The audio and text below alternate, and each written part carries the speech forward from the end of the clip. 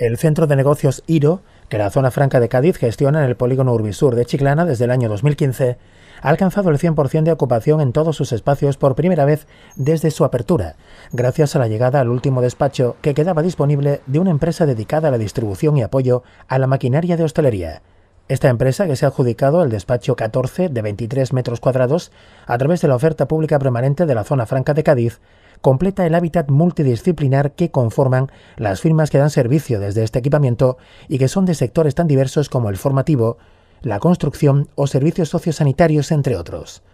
Todas ocupan despachos de entre 18 y 45 metros cuadrados, junto con el gran local de planta baja de 875 metros cuadrados, que alberga un centro de hemodiálisis con capacidad para más de 190 pacientes. La apertura de esta nueva actividad en el centro de negocios de Chiclana ratifica la buena acogida del tejido empresarial de la zona y el impulso dado por el consorcio a su área de promoción empresarial para reactivar la comercialización de todos sus espacios en la provincia y atender de una forma más activa la demanda real del empresariado.